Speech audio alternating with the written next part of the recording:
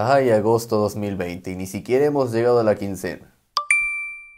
Buenas señores, ¿cómo están? PCT reportando Salever. Ha ocurrido una locura, algo que la gran mayoría de gamers jamás imaginó o al menos lo vio súper poco probable que algún día llegase a pasar, pero ha pasado e inesperadamente. Sin countdown, sin anuncios, sin nada, en cuestión de minutos. En estos momentos, Fortnite se encuentra fuera de la App Store y de cualquier servicio de Apple relacionado. Y cualquier otra aplicación o complemento de su desarrollador Epic Games. Yo lo he estado buscando y no encuentro absolutamente nada relacionado con la empresa. Eliminado sin dejar ningún rastro. Ustedes se preguntarán, ¿pero qué es lo que ha pasado? Bueno, en Fortnite, Epic Games ha añadido una segunda opción para pagar directamente a Epic Games, al desarrollador, en vez de que pase por el sistema de pago de Apple que es mediante el App Store. Epic Games quería hacer esto para evitar de que Apple le cobre un impuesto cada vez que alguien hace compras dentro de la aplicación. Por ejemplo, cuando usted compra su skin para adornar a su muñequito o personaje en Fortnite, de esa compra un 30% va directo a Apple y el resto va para Epic Games. El 30% va de impuestos hacia Apple y el 70% se lo queda Epic Games. Pero Epic Games quería todo, quería prácticamente todas las ganancias y es por eso que añadió esta segunda opción que evita pagar ese impuesto y por ende hacer mucho más dinero. Sin embargo, esto no lo pueden hacer, ya que hay un tema contractual que lo impide. Es un contrato que está de mutuo acuerdo entre Epic Games y Apple y esto también iría para el resto de las aplicaciones, que se debe cobrar ese impuesto. Y que las compras deben hacerse vía formal, mediante la opción de la App Store. Y Epic Games ha incurrido en una falta al añadir esa opción. Y es por eso que Apple, al ver de que Epic Games ha incurrido en una falta y ha roto su política de normas, lo retira su aplicación de la App Store. Esto solo significa que en la App Store a partir de estos momentos la aplicación ya no se encuentra disponible. Aquellos dispositivos que sí tienen descargado Fortnite en estos momentos no hay ningún problema, pueden seguir jugando. El comunicado que Apple mandó a la prensa tras lo sucedido dice lo siguiente, Epic Games ha tomado el desafortunado paso de violar las pautas de la App Store que se implican por igual a todos a los desarrolladores y están diseñadas para mantener la tienda segura para nuestros usuarios. Como resultado, su aplicación Fortnite ha sido eliminada de la tienda. Epic habilitó una función en su aplicación que no fue revisada ni aprobada por Apple y lo hicieron con la intención expresa de violar las pautas de la App Store con respecto a los pagos dentro de la aplicación que se aplican a todos los desarrolladores que venden bienes o servicios digitales. Epic Games ha tenido aplicaciones en la App Store durante una década y se ha beneficiado de nuestro ecosistema tras haber aceptado libremente los términos y condiciones del servicio. Epic Games hasta el momento ha respondido de dos formas. La primera es que va a demandar a Apple.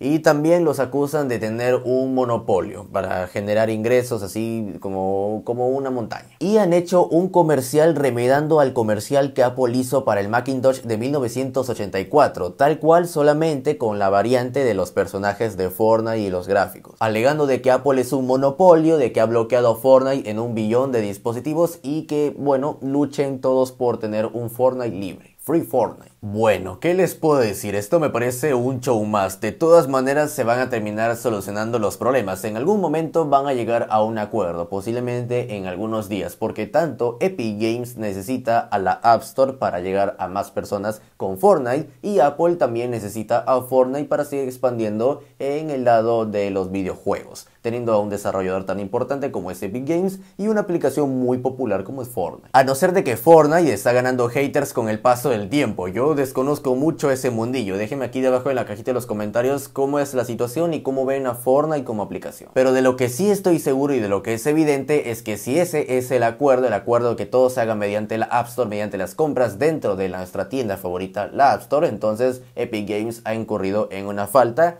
y tendría que emitir unas disculpas. Eso de estar acusando a Apple de monopolio, monopolio ya es muy viejo y no tiene pie. Esperamos que sean razonables. Voy a estar al tanto de lo que ocurra más adelante. ¿Alguna opinión, algún comentario? Déjenmelo aquí debajo en la cajita de los comentarios. Suscríbase en este botón rojo que cada vez somos muchos más y también active la campanita de notificaciones para que esté al tanto sobre todo el mundo Apple con un lenguaje objetivo, directo y claro al instante y además dejarme su monito arriba para calificar este video. Les recomiendo seguirme en mi canal secundario Cineflex Express que estamos reseñando las películas estreno muy bien analizadas. Estoy seguro que el contenido le va a encantar. Y también sígame en el arroba flashpct en Twitter. Eso ha sido todo por hoy. Yo soy PCT. Nos vemos en la próxima.